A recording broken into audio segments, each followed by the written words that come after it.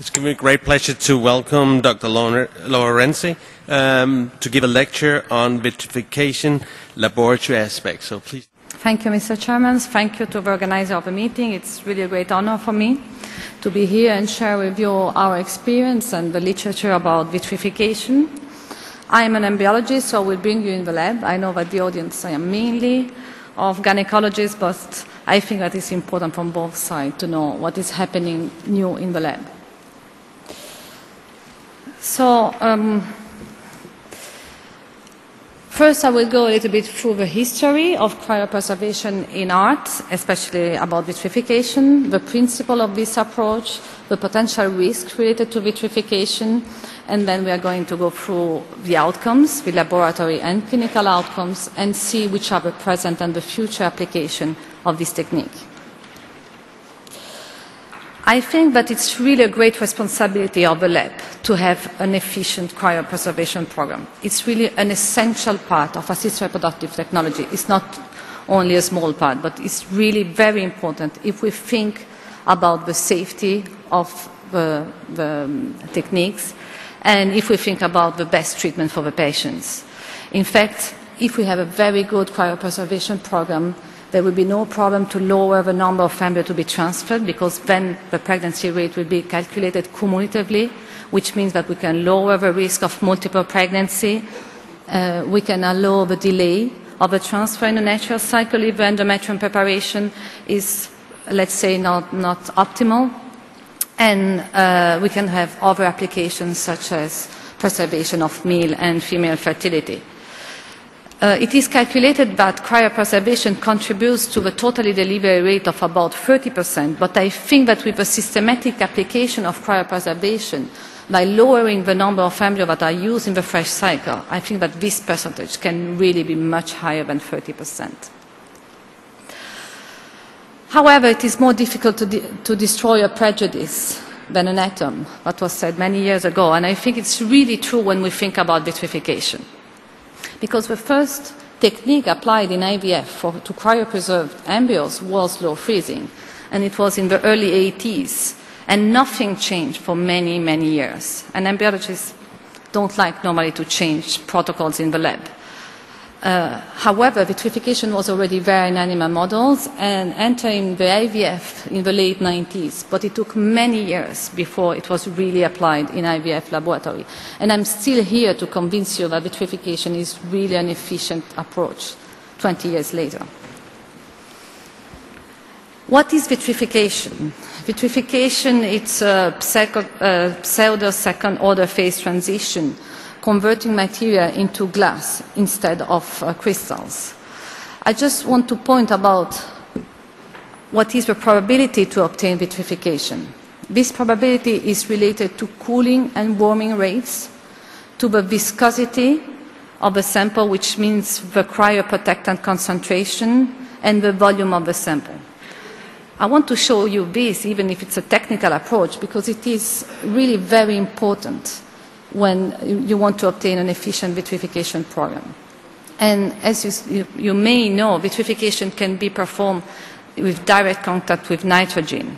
I will go through this point later on in the presentation, but it's not because we are crazy and we want to put uh, our cell in direct contact with a potential infected liquid, but because we want to optimize the technical aspect of vitrification which means the cooling and the warming rates. And we want to optimize another technical aspect of vitrification, which is the volume of the sample. But we don't want to touch the cryoprotectant concentration, which is something that has a biological meaning, which, is, which can, can be harmful for the cells. So this is why the aim of the protocol are to optimize the technical aspect to be able to reduce the cryoprotectant concentrations. So how is it possible to go directly to glass phase without the formation of uh, uh, ice? Uh, when you higher the cryoprotectant concentration, you lower the equilibrium freezing curve. And by highering the cooling rate and the warming rate, you will higher the glass transition curve. As you can see, ice phase transition in an efficient vitrification is completely avoided. And of course, this is important for the cell because we know that the major cryo injuries related to cryopreservation are due to ice crystal formation inside our cells, the embryos. Different protocol has been suggested to perform vitrification, and mainly there are a combination of ethylene glycol, DMSO, and sucrose, and different carriers has been proposed in the literature. A lot of different carriers. Which is the best one? I don't know. I will show you what is best now in the literature, but I think that any lab can adjust its own protocol as long as they have an efficient vitrification. So mainly the carriers can be open, which means, again, direct contact with liquid nitrogen, or closed. And what the advantage of the open system is that you can reduce a lot the volume around your cell, which is called the minimum volume open system vitrification, because the carrier is open, so you can aspirate the medium around your cell, in this case an oocyte, and, and as you can see, there is really very, a very small film around the cell. The volume is really very, very low. And then when you put this carrier in direct contact with nitrogen, of course the cooling rate will be very, very, very fast. And this is an optimum vitrification pro protocol. Um, vitrification can be obtained with different devices, but of course the cooling and the warming rate will depend on the type of devices that you use. And closed system will never be able to obtain the same cooling rate as an open system. But we don't want to be only efficient. We surely want to be very safe for ourselves, no doubt.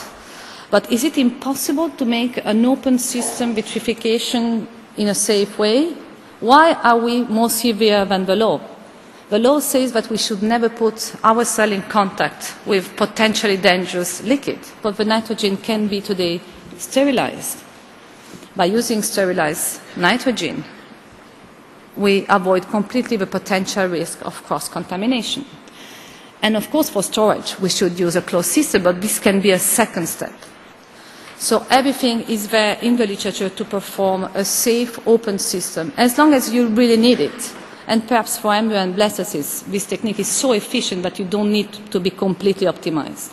For oocytes, it may, be, it may be more difficult, and that's why the majority of the center use an open system, although there are some uh, recent reports with efficient closed system also for oocytes.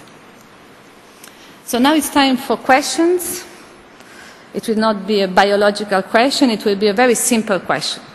So do you think that, take your pad, they told me to say this, and I, I'm going to read the question. Do you think that vitrification has replaced the slow freezing approach? Yes, a. B, yes, but only for some stages of development. C, no. Vote now.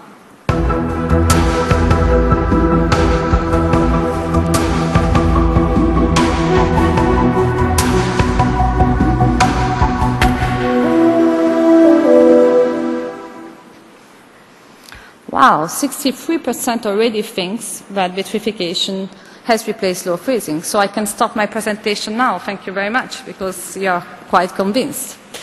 23% thinks that it's only for some stages of development, and only 14% still think that uh, slow freezing has a place in uh, cryopreservation in art.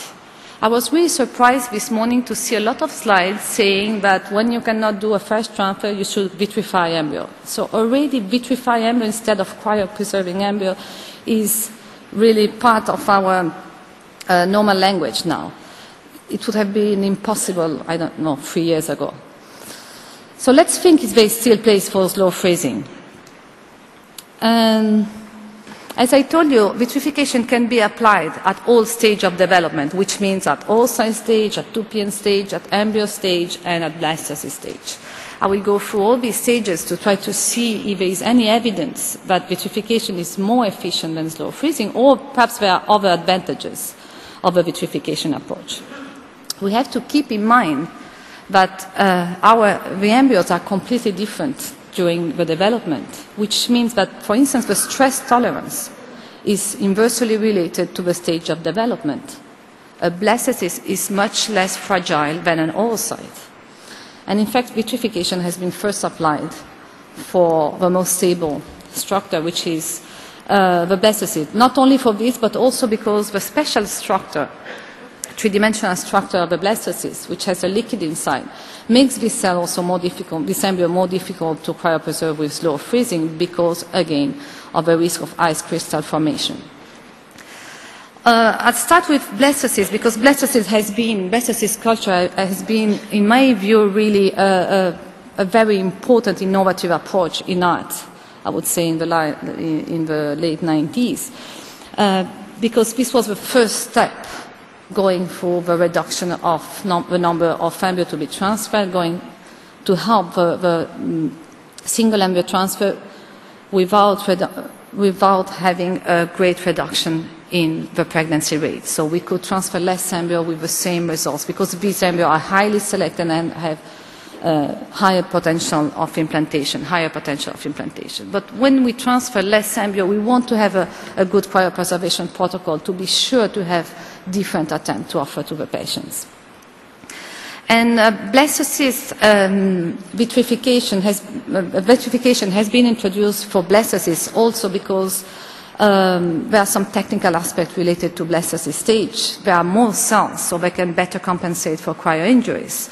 The cells are smaller, they can better make the cryoprotectant enters in the cell. Uh, and if we look to the meta-analysis in the literature, it is quite clear that the survival rate is better when you apply for this cell stage vitrification. And if you look to the literature, uh, all the devices used to, cryo, to vitrify uh, blastocysts has been really very efficient in terms of survival, but also in terms of implantation and pregnancy rates. But we should always think that our results are not only related to the cryopreservation procedure itself, but also to the quality of the cell, that we are cryopreserving. And in fact, the quality of the blastocyst is really very important uh, factor determining the competence of the cell. It is clear that if you vitrify good quality blastocysts, they are going to survive better, they are going to implant better and give rise to a higher implantation uh, pregnancy rate.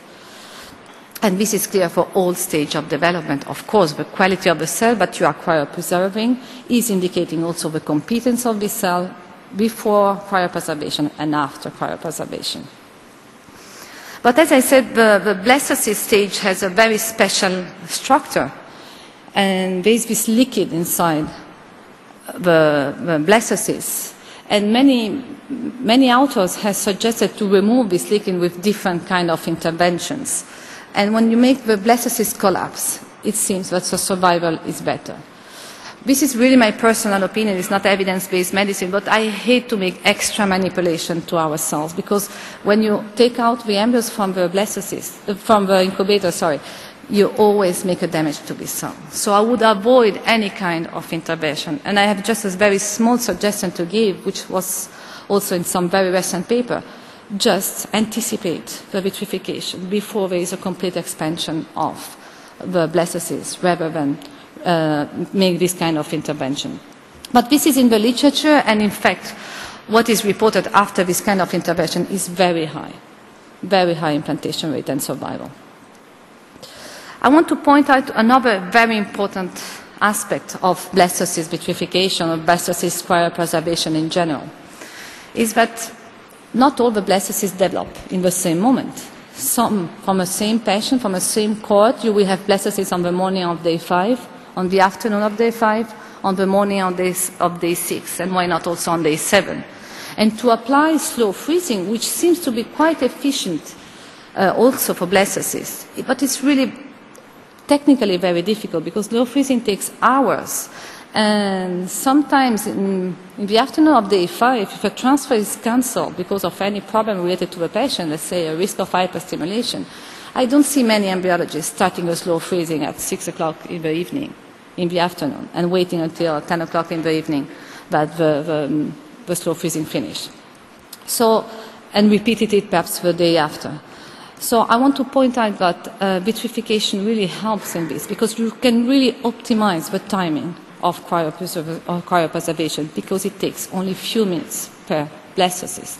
And maybe you can even rescue blastocysts, for instance, at day seven. So although um, slow freezing can be efficient for, for blastocyst uh, cryopreservation, I think that vitrification offers one major advantage, which is the optimization of the timing of cryopreservation for each individual embryo. What about cleavage stage? For many years, we were very happy with our cryopreservation program at cleavage stage, which was the slow freezing protocol. But then Basak Balaban, my friend, made a beautiful randomized control trial showing that vitrification was more efficient than slow freezing. When you look not only to the survival rate, which was already very good with slow freezing, but when you look to the 100% survival rate, which means that all the cells of the embryo are survived, then vitrification seems to be really more efficient. And this is also our personal observation. So it's not only survival, but also to keep all the cell of the embryo, so to keep all the potentiality of the embryo. And in this beautiful study, the metabolism was also analyzed, and vitrification seems really to preserve better the metabolism of the embryos, and then also the implantation was very high and successful. Then we have some meta-analysis that normally look only to the survival rate, and they agree, most of the studies agree that embryos and blastocysts, even combined, which is the truth what happens in a normal lab. Sometimes you cryopreserve at embryo stage, sometimes you cryopreserve at blastocyst stage according to the day of transfer. You have to have a technique which works at any stage of development. Like this, you can choose the day of transfer only according to the policy of the gynecologist for that, for that patient. So survival rate seems to be really more efficient than vitrification, and also the clinical data are very good. But Slow was quite performing well for embryos. What about oocytes? Ah, for oocytes, it was much a more difficult story because this beautiful cell is really very sensitive. It's a very special cell, completely different from from all the other stages of development. First of all, it is not a developing cell. The embryos and the blastocysts can be cryopreserved at different timing because in the meantime that you prepare your cryopreservation, uh, they are going to grow in the, in the incubator without any problem. But that's not the same for the oocyte. The oocytes are arrested at metaphase 2 stage, and they cannot stay like that. And if you keep them like that in the incubator for hours, they are going to get age and the quality and the aneuploidy rate of a deriving embryo will be increased. So you have to be very efficient and very fast when you, you have an oocyte cryopreservation program. And you have to be able to do it for each patient individually. And also there are a lot of structure of the oocyte. I'm not going to go through all these structures, are very sensitive to any kind of manipulation, especially the cryopreservation. But oocyte cryopreservation is really very important. Think about the incredible application of this technique. We were working in assisted reproductive technology for 30 years without thinking about the possible application of oocyte cryopreservation, not only for fertility preservation, for uh, um, in case of disease, for social freezing, in case of hyperstimulation risk, to avoid the production of a lot of embryos, many of which will stay in our tanks, and many other applications. So because we were obliged in Italy, because of a very severe law, we started to cryopreserve oocyte. And the law was very bad, but at least made one thing good, to improve our knowledge and our capacity to cryopreserve oocyte. And I had a chance to collaborate with um, some other group, especially with the IVI group that was already vitrifying oocyte and we start to introduce vitrification. We we try to do it really to validate the technique in a scientific way, which means with randomized controlled trial, with um, meta-analysis. I will show you everything what we did to try to validate the technique. And I hope we succeed. So randomized controlled trials have been performed in IVI on egg donation program and in our center with the infertile population, which means any kind of oocyte from any patient age group. And then we look to the clinical results also. So first I want to show you this uh, systematic review of randomized controlled trials and the meta-analysis. If we think about the pyramid this morning of evidence-based medicine, this is at the top of the pyramid. random, um, systematic review of randomized controlled trial. So we can say that uh, vitrification, according to these studies, that uh, vitrification is more efficient than slow freezing with, when you look to the survival rate of human oocytes. And uh, when you look to the fertilization rate, it seems similar to what you can obtain with fresh oocyte. These are the two messages. Okay, but fertilization and survival is really not enough. What we want is baby. Is for sure the, the final outcome has to be the take-home baby, no doubt. So we were able only to, to make a longitudinal cohort study to look what was the results, uh, how many babies in a very restricted condition when very few oocytes could be inseminated in fresh. So we performed a lot of warming cycles with the oocyte in our severe low and when we uh, what we realized that all oocyte vitrification give us a, an incredible contribution to the cumulative pregnancy rate, but especially for the young population of women. So for the good quality oocyte, 43.2% delivery rate per warming cycle, which is really, I think, very efficient. 43% uh, um, delivery rate per warming cycle. Let's look to another model, which is the, the egg donation model. Again, perfect oocyte coming from donors. This is a beautiful randomized controlled trial, double-blinded study performed in Ivi Valencia by Ana Cobo and, and the group. 600 couples involved, 600 uh, recipients involved in both groups, fresh transfer and vitrify, oocyte vitrified transfers. Uh, so, very high number very powerful study. Same fertilization rate, same embryo quality, and delivery rate of 43% in the fresh and the vitrified group, which is really exactly the same that we obtain in our young population of patients. So, really incredibly high. What you expect for a fresh transfer? It is even more than what we were expecting from a cryopreservation pro- program.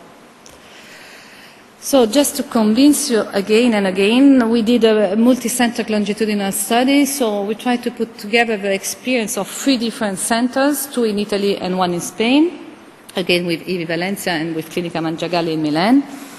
And this was to put together the numbers in, only in the infertile population, all age groups. We were able to involve 486 cycles, 2,721 oocytes warmed, uh, 2,300 survived oocytes. We transferred 436 embryo and we obtained 147 newborns, which means that 5.4% of the oocytes warmed give rise to a baby. It's about 17 oocytes. I made the calculation before, very similar to what we, what we have seen before. But I don't think that the calculation is really correct in this way because each oocyte is not an independent entity. You all agree that the oocytes coming from the same cord are linked to each other. I would say 10 oocytes from a 44 years old woman will behave more or less all in the same way as compared to oocytes coming from a 32 years old woman. So we cannot calculate it per oocyte. It would be true if each oocyte would be completely independent from the woman that has produced it. So we made an, a, a, different kind of calculation. We made what is called a partitioning, analysis, which is a statistical analysis. And according to the significance, the computer tells you which are the cutoff. And in fact, the cutoff is eight, more than eight mature oocytes. So when you have more than eight mature oocytes in a single uh, ovarian stimulation, in a single pickup, the delivery rate is about 46% as compared to 22%. Is it because there is eight oocytes, more than eight, or it is because these are good responder patients? That's the point. It is because of the intrinsic quality of a good cohort of oocyte, or because you need all these numbers. I don't know. But it is for sure that a good responder patient that has eight oocyte has probably better oocyte and more oocyte to be used to, to be warmed and then uh, inseminated. And also the quality of the embryo is important. In fact, uh, in this good population of patients when good quality embryos were obtained on day three and thus the transfer was postponed to day five, the delivery rate was as high as 62%, if I'm correct. Yes, because I cannot read that. What about the age? In the population of patients where less than eight oocytes or, or equal of eight oocytes were obtained, the age was a very important factor. And in the young population of patients, we still had 27% delivery rate per patient, while in the older population, it's only 12. So what we discover is that with all vitrified oocytes, number of oocytes, age and quality of embryo are the parameter will determine the delivery rate, which is exactly what we expect for fresh oocytes. So not really a discovery. But it is important to know when you do counseling to the patient, I think, to know more or less which is the probability according to these three factors. Okay, I said that our uh, primary outcome measure has to be the delivery rate, but I think it's really not enough, not for vitrification, but in art in general. We should think that uh, we should be safe, and we, we should have healthy babies, not only deliveries. And there are many aspects that we don't, still don't know related to art and related to any kind of new approaches such as vitrification, which may be related to metabolomic, transcriptomic, proteomic, but also epigenomic. But this is true for art in general, and we shouldn't look only to vitrification, or only to one technique, but we should look to the whole procedure. And this has not been clarified for art in general, I don't know how we can expect to be clarified only for vitrification. So it will be our next step to, to really to try to see if there are any potential long-term risk on our embryos. So um, when new techniques are introduced in the lab, it opens really new frontiers to, to our application. And, and female fertility preservation by oocyte cryopreservation has, is really a new application in our field, and I really think it's really very important to be implemented everywhere because it offers an incredible possibility to oncological patients, of course, but also for social things and many other applications. And it's a way to compensate the biological inequity between male and females in the reproductive field. And it seems that with vitrification, when you introduce vitrification in your lab, you, you are not only able to uh, optimize one stage of, uh, of embryo cryopreservation, but all the stages with the same technique, which is also a very important advantage of vitrification. You don't have to adjust for the different uh, stage of development. You can use the same protocol, and you can be very fast and optimize the timing. And when we think about one, a technique that uh, is able to offer to you excellent survival, developmental ability, which is similar to a fresh one, uh, consistent results between different centers, and optimal timing for cryopreservation. This means that together we are doing the best for our patient and offering the best opportunity when we treat our patients, which is the goal of all of us, I think, in this audience. So the question is now, when, when would be the optimum moment to make vitrification? Would it be at metaphase 2 stage, at 2PN stage, at embryo stage, or at blastocyst stage? I think that uh, because the survival is very good, the implantation is of course related to the stage of development because more we are late in the stage of development, more the embryo is selected, and of course more competent is. But of course the number are different. It is true that a blastocyst has a higher potential as compared to the oocyte, but you have to think that from 10 oocytes you will obtain only three blastocysts. So at the end of the story, cumulatively, it will be probably the same. So it's just a, a philosophical approach. Would you prefer to cryopreserve before sperm entry? Like this, you can make a fertility preservation to your patient, so it will be independent from the couple, it will be only for the women? Or you prefer to do it after embryonic genome activation to have a highly selected embryo, I think that when you have vitrification in your lab, you can adjust for each single patient because anyway the total efficiency will be the same and you can really choose according to the day of transfer or the quality of the embryo. So take your, so I'm, it is exactly the same question of before, but I, I think that I've been so So, uh, so you, you are completely convinced that vitrification has replaced freezing. So A, it's yes. B, it's yes, but only some, for some stages of development. And C, is no.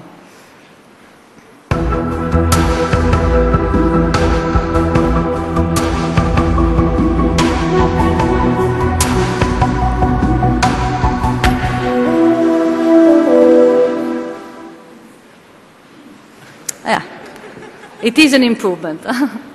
it was 63, 1979, and for next meeting it will be 100%. I hope, and anyone who is interested in vitrification can send us the bi- biologists or come to, to visit our lab because I really think that uh, uh, improving this technique, it will improve in general uh, uh, the results for in ART. Thank you very much for your attention.